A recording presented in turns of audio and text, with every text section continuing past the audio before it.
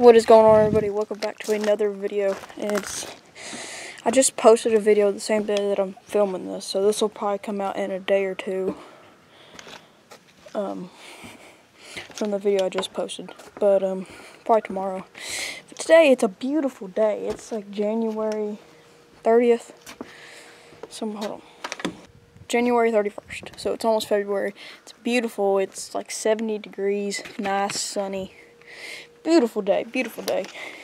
Especially like since two weeks ago we had six, six, seven degree weather. So this is a very nice upgrade, I should say. Today we're going to be doing a little bit of fishing in that pond down there. I ain't fished it in almost a year, probably over a year. Normally, there's not that much fish in there because it drains a lot. A lot of brim. That's about it. So, we'll hope that they survive the freeze. Got the GoPro and the chest mount. And we're going to uh, rig us up, fish a couple fishing rods, and uh, yeah, go fishing. So first, we got to rig up. Let's look in here for baits. We may just go the old grasshopper traditional. Just go put a grasshopper on a hook. But what do we got down in here? Oh, we got pliers. We're gonna need these. We may just go Senko. You know what? We're gonna go Senko. It's this little little hook. It's a bitsy brim hook, circle hook. This is what I use during the summer. The great, the how I catch most of my fish in the summer. I go around, catch a grasshopper in the yard, put it on a hook, and catch like three fish off of one grasshopper. Most of the time.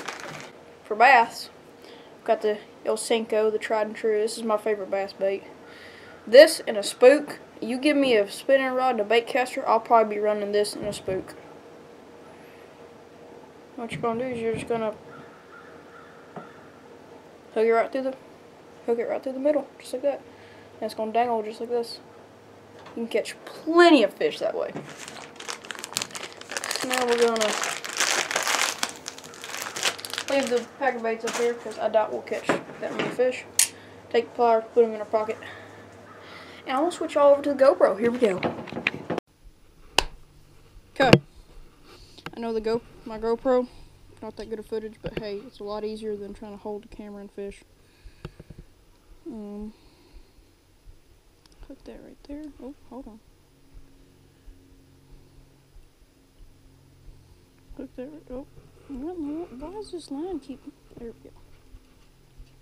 Okay, we're tight. It's a weightless worm, so you just throw it out there, and it's gonna sink down.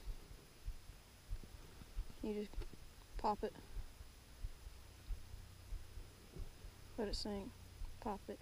So. Oh, hey, there's a little bass right here. Oh, there's a couple fish. There's a little bass. I can see him.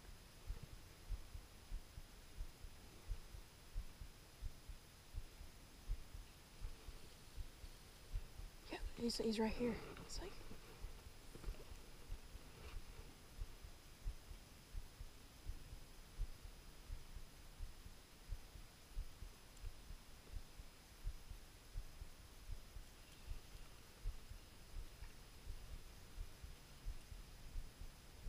Dude, I need to get like a little curly tail grub or something. Something small. Because this bait's about the size of that bass. Oh, I just spooked a uh, little bluegill.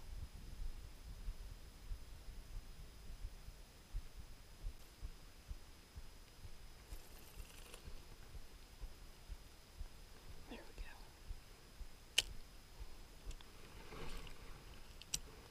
Just throw him out there just like that.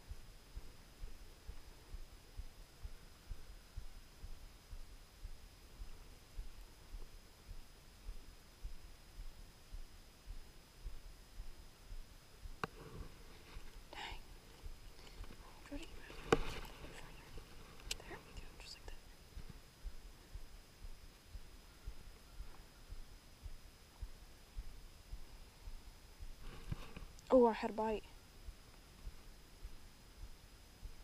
As soon as it sinks past where you can't see, they they get it.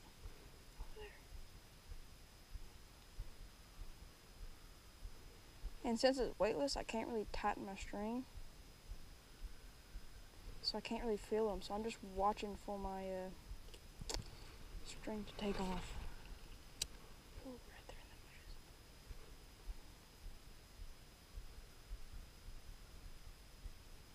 Don't sink at the moss. Okay.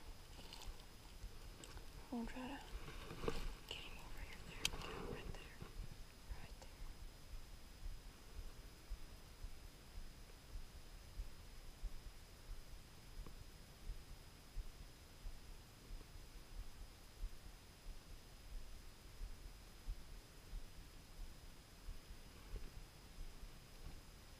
there. No? Wow.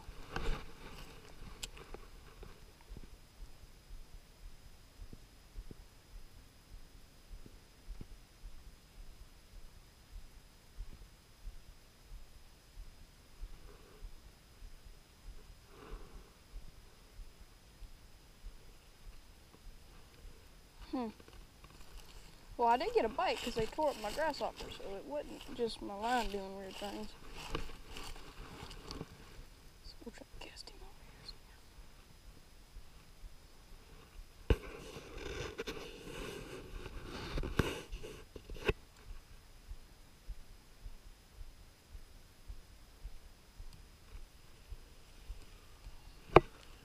Dude, if I could catch one that's like this big, I'll be happy.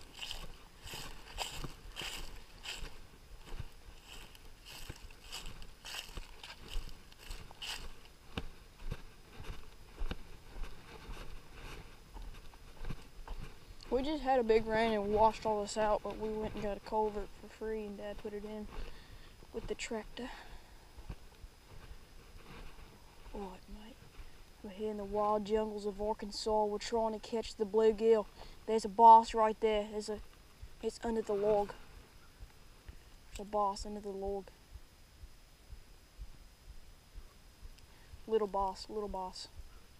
He's right there. There's a couple other little ones with him. I spooked him out of there. One of them looks interested.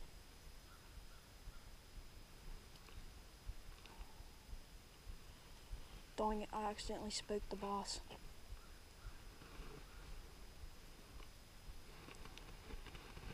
Get all this crap off of here. Dude, these things are spooky. They're hiding under this log. There's a log right here. Oh, I just got a spider web Oh my line.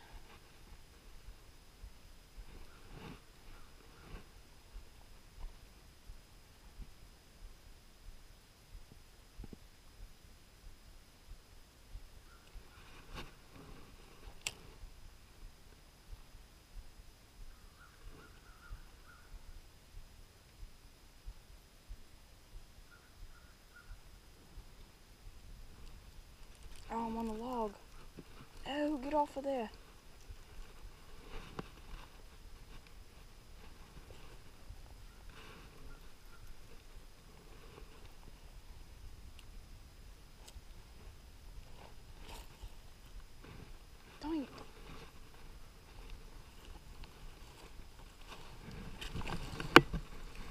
Oh, that log moved.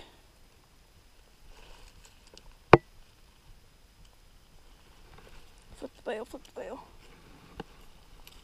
That up there.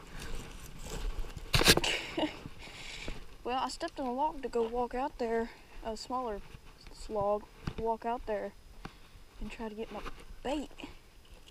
And that smaller log moved. And I don't have my my uh, normal rubber boots on. Well, we're gonna try. We ain't got much grasshopper left, but we're gonna try to do what we can with what we got. Still barely seeing. So, oh, he just disappeared. Okay.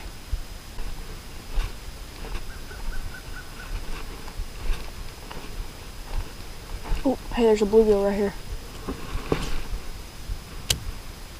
Okay, oh, there he goes. He's he's looking at it. Hey, he's looking at it. There's a bluegill.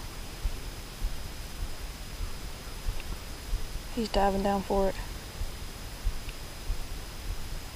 Oh, he, he hit it.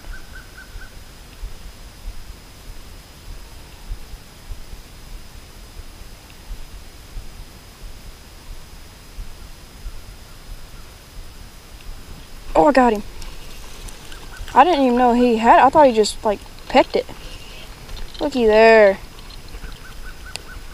Look, little sunfish. Boy, you swallowed that hook, didn't you? Well, I didn't just come out here and film this for nothing. Alright. This is where the pliers come in handy, especially for bluegill, because they got smaller mouths.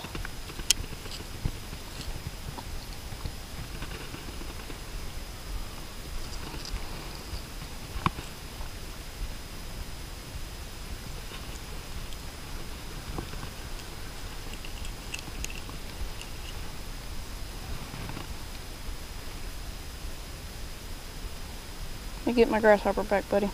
Thank you. Alright. Toodaloo.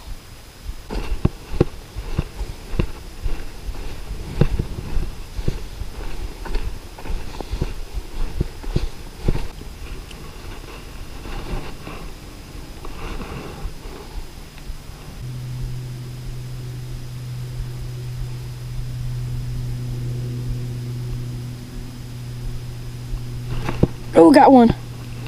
Let's go.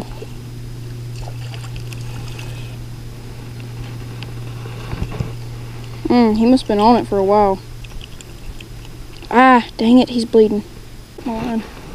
Don't worry, that hook's going to rust out eventually. And that fish is going to be totally fine. Alrighty guys, this is going to be the, the end of the video. Hope you guys enjoyed the GoPro footage. We caught two fish. Last one I had to cut the line on because gut hooked him. And uh, couldn't get it out and I didn't want to kill him. So I just cut the line. That hook will rust out. He'll be totally fine. Crawdads worked pretty good. Uh, whenever they actually stay on the hook. Still ain't still ain't caught that mama crawdad.